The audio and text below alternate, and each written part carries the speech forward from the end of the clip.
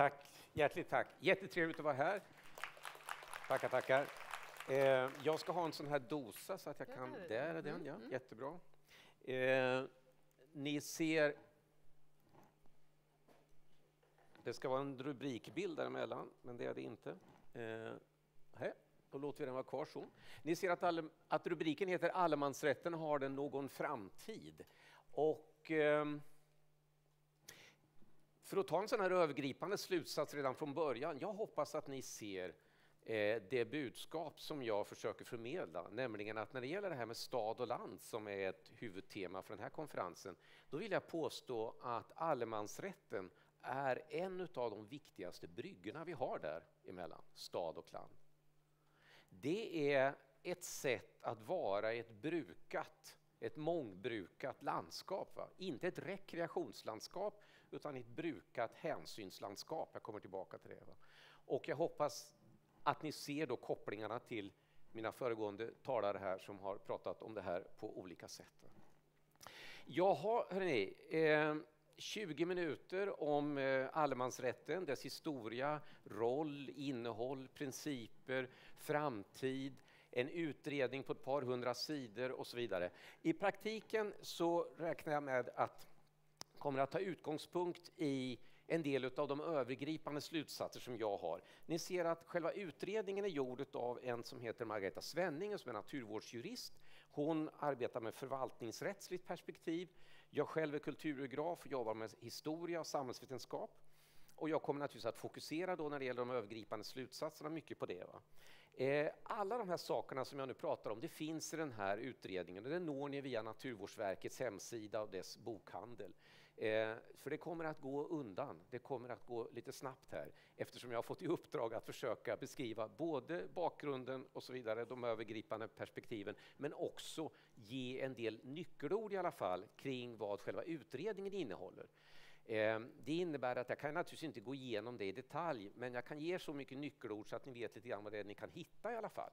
Och sen så finns ju den som pdf och den finns då med att-satser och det är tydligt och så vidare, så då kan ni gå in där och läsa exakt vad som står. Okej, okay, det här är då mina rubriker. Ni ser historia, principresonemang, landskapsperspektiv, allemansrättens ställning hos allmänheten och som sagt var dess framtid. Eh, om vi börjar med det här med bakgrund och historia. Så den här figuren har ni redan sett. Det var väl snyggt tajmat av oss? Va? Ehm, det här är ju själva bakgrunden och referensramen. Friluftsliv, naturbaserad turism och så vidare har vuxit fram som en viktig del av industrisamhällets relation till natur och landskap. Det är viktigt att se, tycker jag, det här. Det är inte en hobby bland andra hobbys. Det här är en del av industri, urbaniserad industrisamhällets humanekologi. Va? Tittar vi på starten, slutet på 1800-talet, början på 1900-talet, är mitt intryck att allemansrättens praktik, den togs för given när det här satte igång. Va? Eh, ett tips eftersom det är många historiker här i församlingen. Eh, jag och Sverker Selin har gjort en bok som kom i andra upplaga här om året som heter Friluftshistoria. Där har vi med ett 15-tal författare gått igenom mycket av det här. Tittar vi på mellankrigsperioden, det är då man etablerar begreppet allemansrätt och vi får en demokratisering kring de här frågorna, en breddning. Och mycket av talet om allas tillgänglighet till och så vidare etableras här som sen kodifieras till exempel i strandskydd och så vidare. Tittar vi på efterkrigstiden så har vi mycket av offentligt engagemang i det här. Vi har rekordåren. Man investerar på olika sätt i olika typer av anläggningar i landskapet. Det är en av de viktiga saker som händer där. Ja, och så är det då frågan om nutiden då. Jag har skrivit rörlighetssamhällets mediala, kommersiella och kulturella mångfald sekelskiftet 2000. Ja, det är några nyckelord. Sådär. Det är alltid svårast att betrakta sin samtid som ni vet. Konstateras, mångfald, bredd och förändring har alltid varit viktiga delar av friluftslivets och naturturismens historia. Men idag förutom dess viktiga betydelse för rekreation, folkhälsa, livskvalitet etc. etc. så har vi då ett antal nya eller accentuerade teman att ta ställning till. Va? Eh, till exempel det globala friluftslandskapet. Eh, nya samspel med inomhusmiljöer. Eh, ett mångkulturellt högrörligt samhälle. Sportifiering, kommersialisering och så vidare allemansrätten hela tiden knuten till samhällsutvecklingen. vi kan försöka ta rygg då i till exempel Sveriges grundlag. Där står det alla ska ha tillgång till naturen enligt allemansrätten. Men då sticker ju den lille tjurige forskaren upp sitt huvud och säger jaha, men vilka är alla? Och vad är egentligen tillgång? Och inte minst, var ligger naturen någonstans? Så då blir det med andra ord, alltså vad är allemansrätten? Ehm, en första slutsats det är att allemansrätten är direkt relaterad till samhällsutvecklingen. Och det innebär ju att är vi intresserade av dess framtid, då måste vi fundera på vad det är som händer i samhället och vi kan inte räkna med att det är en stabil massa det här. Det här är dynamik. Va? Principresonemang om vad allemansrätten är då, på två sekunder. Ofta beskrivs som ett friutrymme mellan olika avgränsningar, regler, hemfrid, ekonomiska intressen, naturskydd, ett friutrymme däremellan och, inte minst viktigt, den nedre linjen, landskapet i sig självt. Att eh, det är det landskap som är med sitt bruk som allemansrätten ger en tillgång till. En bild av konfliktfälten inom det där friutrymmet. Ja, man kan tänka sig en viss aktivitet på en viss plats och så kan man fråga sig, är den organiserad, är den kommersiell? Och då får vi en fyrfältare så här. Ja? Och ni ser här, ja, ja, nej, nej och så vidare. Och ni ser här, här har vi konfliktfältet. Va? Eh, ja, ja-rutan, det är det som mycket av diskussionen handlar om. Medan nej, nej-rutan, den är det ingen som har några synpunkter på i den allmänna debatten. Och så finns det olika varianter kring de andra aspekterna. Va? Men allt det här ryms inom allemansrätten så länge man håller sig inom de där toleransgränserna som den förra bilden visade. Så allemansrätten kan alltså ses som ett toleransavgränsat frirum, är en annan slutsats. Landskapsperspektivet då? Ja, där har jag ett kapitel där det handlar om landskapsbegreppet, det handlar om naturbegreppet och så vidare. Och så vidare. Och ja, vad hinner man in på det då här? Eh, inte mycket. Eh, jag sa inledningsvis, allemansrätten är tillgång till ett mångbrukat hänsynslandskap. Va? Och det är en väldigt viktig aspekt i sig. Ni ser att det är ett brukat landskap vi har framför oss där. Va? Men jag kan visa i alla fall en illustration till kopplingen mellan allemansrätten och landskap. Och det är i form av en aktuell konfliktfråga, nämligen detta. Ni ser här anläggning respektive icke anläggning. Att åka i någon annans skidspår eh, att åka någon annans skidspår, det är naturligtvis en möjlighet enligt allemansrätten. Eh, men att åka i Torsby skidtunnel eller på en skidsportort, det är inte självklart en del i allemansrätten. Och var går då gränsen? Den där gränsen har varit relativt lätt att identifiera tidigare. Man har haft sånt här som parkeringsplatser och hopptorn och sånt som exempel på vad som är en anläggning. Men teknikutveckling, sportifiering och så vidare gör att den här gränsen har blivit svårare att hantera. När det är ett skit, preparerat skidspår görs med en mångmiljonapparat, en pistmaskin, det ska vara dubbla spår, det ska vara skatingsträckor, det ska vara kylslingor, det ska vara snökanoner och så vidare. Då är frågan, var har vi passerat gränsen för att det här blir en anläggning? Och det här tror jag kommer att gälla fler och fler aktiviteter. Klätter, klätterbanor, mountainbikespår och så vidare. En aspekt som inte pratas så mycket om, men som är viktigt att komma ihåg när man har ett historiskt perspektiv, vilket vi har här i den här församlingen, eh, det är att, jag nämnde där om investeringarna från samhällets sida på 60 70-talet. Då gjorde man mycket. Man etablerade låglandsleder och eh, byggde vindskydd och eh, eldstäder och så vidare ute i landskapet. Men i och med att det gjordes i offentlig regi, då kunde man ju bestämma sig för att här har vi inga begränsningar när det gäller tillträdet. Va? Så där har du det andra spänningsfältet. Vad är i offentlig, vad är i privat regi? Som avgör om det, hur avgörande det är vad som är en anläggning. Va? Så var ska gränsen dras för anläggningar som upphäver allemansrätten? Okej, okay, allemansrätten som ett uttryck för ett mångbrukat hänsynslandskap alltså. Allemansrättens ställning då? Ja, en sån här bild får man inte visa när man gör vetenskapliga artiklar, för den är övertydlig. Va? Men jag tycker att den är rätt illustrativ. Det är, det är så att när vi frågar om man tycker att allemansrätten är viktig att försvara så svarar det då, som ni ser här, 96 procent av svenska folket. Jo, det tyckte de. Och när vi sen upprepar den här undersökningen några år senare så längst ner så står det där samma fråga igen och då blev det 94 procent. Eh, vi kan jämföra med en liten bit upp där det står allemansrätten är viktig för mina utomhusaktiviteter och det är nästan 80 procent. Alltså den är väldigt viktig också rent praktiskt, konkret. Va? Vilket kan jämföras med att naturreservat och nationalparker är viktiga för mina utomhusaktiviteter som är betydligt lägre, lite drygt 40 procent. Man vet också, verkar det, lite hyggligt vad det är man vill försvara. När man får en handfull kunskapsfrågor här, och ni hinner inte läsa igenom de här och se om ni kan svara rätt, eh, men det får ni kolla efteråt sen på friluftsforskning.se, där har ni rapporter och alltihop. Så visar det sig att ungefär 90 procent svarar rätt på det här. Så att man har alltså en ganska god, gott grepp om den grundläggande allemansrätten. Ni kan jämföra med längst ner där det handlar om det fria handredskapsfisket, kontroversiell fråga. Och där är det lika många som svarar fel som svarar rätt. Allemansrätten har alltså sammanfattningsvis en mycket, mycket stark ställning. Så är vi då framme vid det här med allemansrättens framtid. Då. Ja, först så skulle jag vilja ge några övergripande, principiella referensramar för vad allemansrätten är, som ingång till det här, som styr, vad allemans, som styr allemansrättens framtid.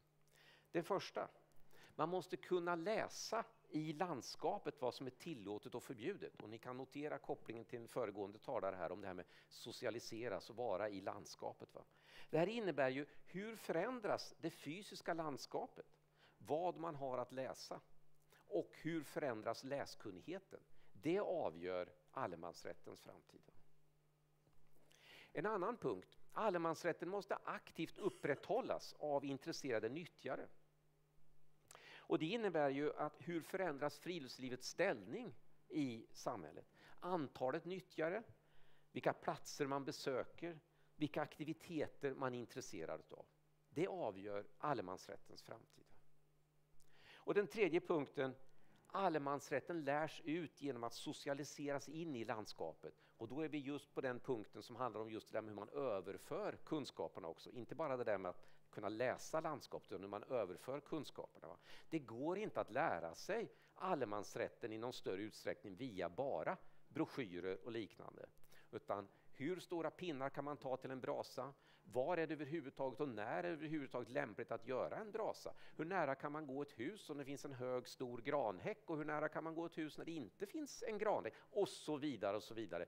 Det här är någonting man lär sig i landskapet. Det innebär att hur förändras friluftslivets pedagogiska inramning? Va? Alltså dess roll i familjer, skolor, föreningsliv, turism och så vidare. Så där har ni tre stycken övergripande karaktärsdrag för allemansrätten som avgör dess framtid. Huvudsakliga val innan jag går in och visar några stickord för de rekommendationer som jag och min kollega har tagit fram. Och vi har jobbat från olika perspektiv som jag nämnde innan. Ett första perspektiv det är ju att se vad det blir. Alltså man accepterar detta med att allemansrätten är ett frirum som jag sa förut, det som inte är förbjudet är tillåtet och sen så får man se i efterhand då liksom, jaha, det vart det där försvann ur och det där tillkom kanske och så här lite blev det kvar eller inget och så va. Det är naturligtvis en fullt möjlig strategi. Va? Den andra strategin heter business as usual, alltså i princip vad vi gör idag, med inte minst Naturvårdsverket i spetsen. Alltså man använder sig av frirumstanken men man försöker med olika folkbildande åtgärder att upprätthålla principer om vad det är som gäller och inte gäller. Den tredje punkten som ni ser där, det är att fokusera allemansrättens grundläggande värden och vara öppen för ny lagstiftning för att vidmakthålla värden i den nuvarande allemansrätten. Alltså det bygger ju på att man inte tror att de två första strategierna räcker till för värden som man är intresserad av ska finnas kvar. Sen ska vi naturligtvis inte blunda för att det kan finnas en fjärde möjlighet också. Att man vill göra principiella förskjutningar och lagstifta utifrån det. Till exempel att man vill stärka naturturism och så vidare utifrån att, att de servicenäringarna växer. Eller att man vill stärka den privata äganderätten av ideologiska skäl. Eller att man vill stärka biologiska mångfalden även om det går ut på över rekreationen etc. Man kan vilja göra principiella förskjutningar.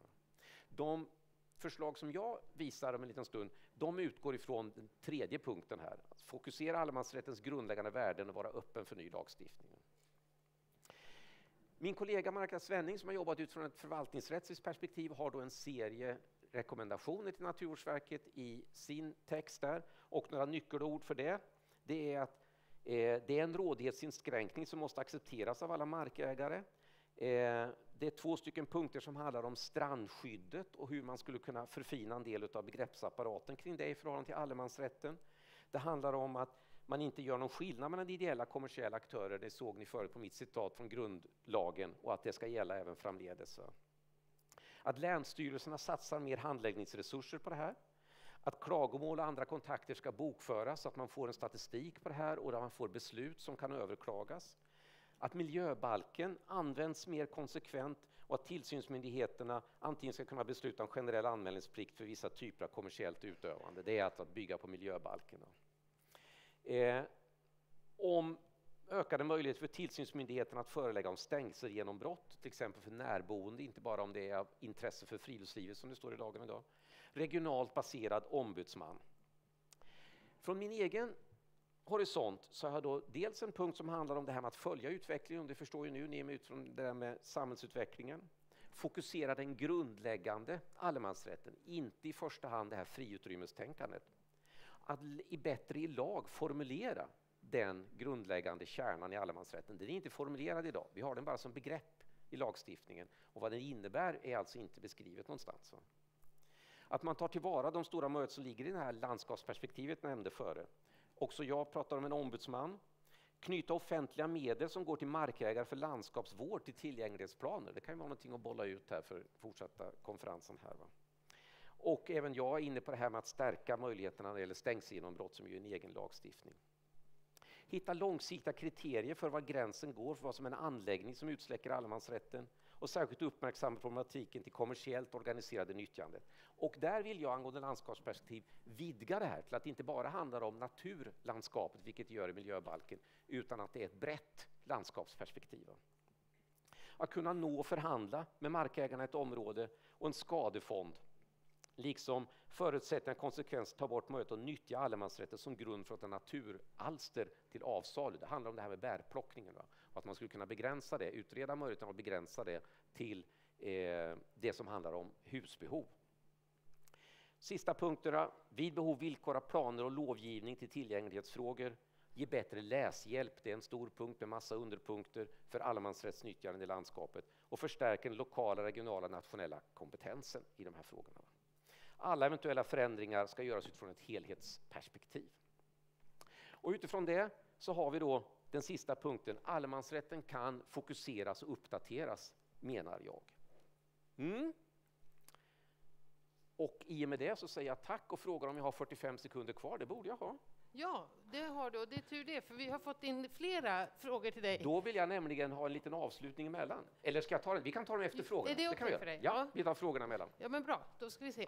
Bord nummer 11. Ja, det är ni som är bord 11. Hej! Var det du som funderade, som ställde frågan, Ragnhild? Ja, det var det. Nämligen? Alltså hur ni ser på det här med, med kommersiella aktiviteter som nyttjar till exempel fjällen med stöd av allemansrätten och som också kan, då kan medföra en del miljöproblem. Och, så, och, och så, som i sin tur kan tjäna pengar på ja. att, att använda allemansrätten så att säga. Ja, hur ser ni på det Claes? Det finns ett förslag från till exempel Lantbrukarnas riksförbund om att man skulle ta bort allt organiserat kommersiellt nyttjande av allemansrätten. Eh, det anser inte jag och inte heller min medutredare.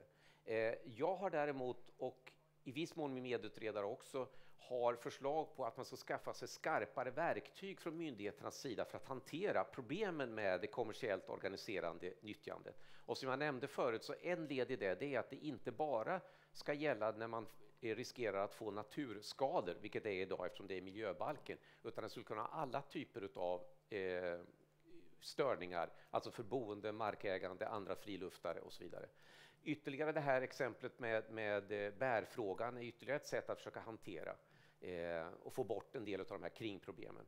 Kort sagt så tror jag att det är nödvändigt att ta tag i en del av de här växande problemen kring kommersiellt organiserat nyttjande för att skydda den grundläggande allemansrättens framtid. Mm.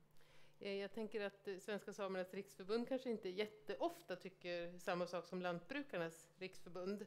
Men, men när det gäller eh, möjligheten att, att få betalt för markägare eller de som äger rätten att, mark, att nyttja markerna som ju rennäringen gör, även om man inte formellt äger den på samma sätt som en lantbrukare. Ser ni likadant? Har SSR tyckt någonting där, att man borde kunna få ta betalt?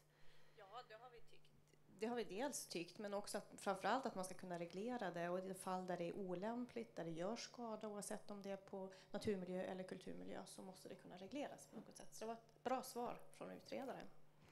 Du, Det Claes? tackar man för. Och, Ja, det, tack och det, det, det kan jag väl ta som, som medan du går över till nästa fråga då, så kan jag nämna att där har vi ett exempel på en lagstiftning som har funnits, som, som flera av oss har påpekat sedan miljöbalken infördes, för tio år sedan, att den här möjligheten finns, men den används i väldigt liten, nästan negligerbar utsträckning av myndigheterna. Så här har vi ett exempel på något som skulle kunna både användas, det som finns, men fördjupas. Eh, Jerker, Sven och eh, Christian, tack. Nästa fråga är här. Eller där, eller hu, hu. där. Hur har allemansrätten med kulturarv att göra? Allt. Ja, alltså en viktig sak, eh, och nu hoppas jag att det inte är någon från Naturvårdsverket som blir sur på mig här. Eh, jag anser att allemansrätten i relativt begränsad bemärkelse handlar om naturvård. Allemansrätten handlar om människor. Och allemansrätten har varit ett sätt att vara i ett brukat landskap. Och landskapet är ju då en del av kulturarvet. Så för mig så är det så att, att i och med att allemansrätten är en sak som handlar om människors hänsynsfulla sambruk utav ett brukat, använt landskap, så menar jag att det är helt enkelt ett sätt att upprätthålla kulturarvet, landskapet. För om vi tappar, om stadsbefolkningen tappar kontakten med ett brukat landskap, vad är då underlaget och förståelsen för landsbygden och landsbygdens näringar? Vad är underlaget, det demokratiska underlaget för en hållbar utveckling? Om man inte fattar utan man bara befinner sig i parker, reservat, nationalparker där allt är arrangerat utifrån ett rekreationsperspektiv. Här ligger inget krattat grus, här kan man inte gå. Eller asfalt kanske. Nu har det kommit fler bra frågor till dig, men eh, tyvärr så har ju du, eller tyvärr ska jag absolut inte säga, men du har ju också en fråga till deltagarna. Ja. Så att jag tror att klockan ber oss att eh, vända på kuttingen. Så här kommer Claes fråga. Nej, det gör Jo, det inte. snälla. Ja, får jag, får jag inte läsa den? Ja, fort då. Fort då. När man håller på med miljöhus... Nej, det fick jag inte. Det var inte jag som tryckte. inte jag heller. Ja, men det var, det var, det var en... eh. Vi struntar i den. Ett citat från 1909 till förarbetena till, miljö, till jordabalken. Jättetjusig formulering som handlar om det gemensamma bruket av landskapet. Då är vi över på frågan. Ja, ja, Det är inte har- jag. Det, nej, jag tror det. Jo, inte jag. Ni såg den här bilden förut. Kan vi hitta långsiktiga kriterier på vad som är en anläggning som utsläcker allemansrätten? Jag drog lite grann om bakgrunden där, alltså hur teknifieringen, eh, teknikutvecklingen, sportifieringen, kraven förändrar och gör att det blir en diffusare gräns. Och jag tror att vi kommer att ha fler och fler verksamhetsområden som anlägger banor, som anlägger olika saker i landskapet och där det då kommer att bli en diskussion, precis som det har varit med skidspåren, om det här är en anläggning som utsläcker allemansrätten. Och då tänkte jag när jag åkte hit att det här är ju precis rätt grupp att fråga om den saken. Va?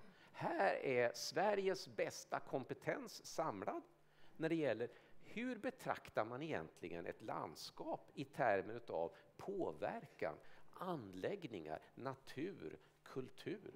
Så då tänkte jag, då tar jag med mig den frågan. Hur skulle vi kunna hitta, tror ni, långsiktiga, lite stabilare kriterier för vad kännetecknar en anläggning? Är det investeringsgrad? Är det grad av förändring i landskapet? Är det krav på att det måste upprätthållas hela tiden? Är det bygglov som ska vara kopplat till det här?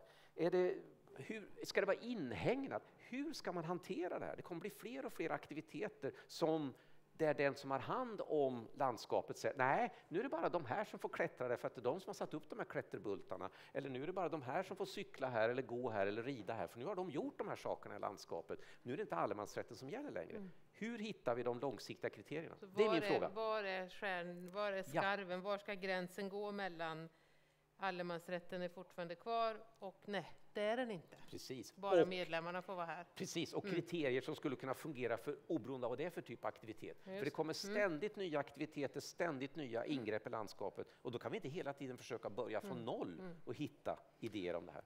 Och, och det här är ju killen som man vill ska veta vad man tycker om det här eftersom du kommer fortsätta att forska om fritid. Det kommer jag göra. Mm. Det kommer jag göra.